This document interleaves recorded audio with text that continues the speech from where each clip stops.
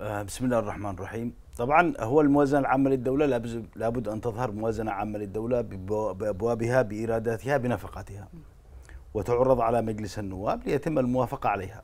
كانت تلجأ الحكومة السابقة طبعا قبل 2011 إلى عمل خطة حتى تصدر الموازنة. يعني الموازنة الآن ينتهي العام الموازنة لن تصدر إلا في شهر إبريل. يتم عمل خطة إنفاق عام خلال الأربعة الأشهر حتى تصدر الموازنة وبشفافية وتنشر وتعرض على مجلس النواب بالموافقة عليها. بعد أربعة أشهر الآن أو قاربنا على خمسة أشهر من ال من ال من ال يعني ال- السنة وبدأ يعلن يعني المفترض أن يصدر الموازنة. كانت هذه لو كان معه خطة للإنفاق كان يصدرها في ديسمبر أو في يناير أنه سننفق حتى نصدر الموازنة. لكن الآن يفاجئنا في شهر مايو يقول سوف أصدر لكم خطة الإنفاق. والموازنة متى يا بن مبارك؟ إن شاء الله بعد ما ينتهي العام والعامين. إحنا وصلنا إلى مثل إنه يعني عسى ان تنجلي قالت الأيام وهذا مبتداها وهذا عز الدين وهذاك أخيه يعني معين عبد الملك و... واتضح أن أحمد بن مبارك هما وجهين لعملة واحدة فقط. كنا تفاءلنا فيه خير تحركاته آه، يعني إنه. إنه وتصريحاته إنه حي... حيعمل شيء جديد. لكن يبدو أنه لا جديد. لا الذي أعرفه أنه هذا تنفقون من أموال من؟ من أموال أبتكم؟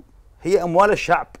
يعني الآن وحتى الآن وليس من إيرادتهم هي أموال ديون على الشعب اليمني. سنظل نسدد ما ما اقترفته معين حكومة معين عبد الملك إلى 20 سنة. والآن نجد نأخذ 20 سنة. نسدد ما سوف تقترفه حكومة أحمد بن مبارك.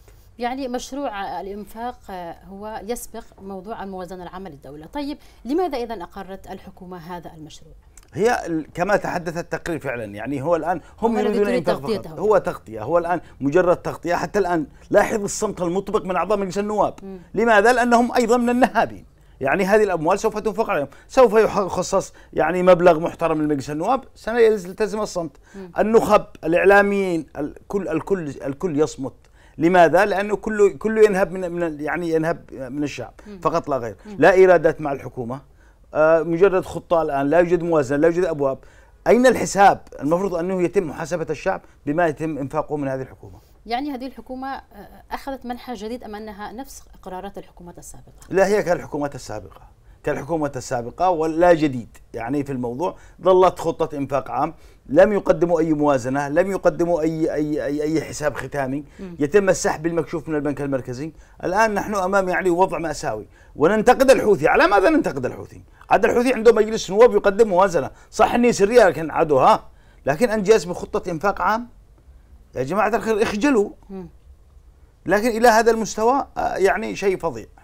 إذا المحلل الاقتصادي رشيد الآنسي شكرا جزيلا لتواجدك معنا.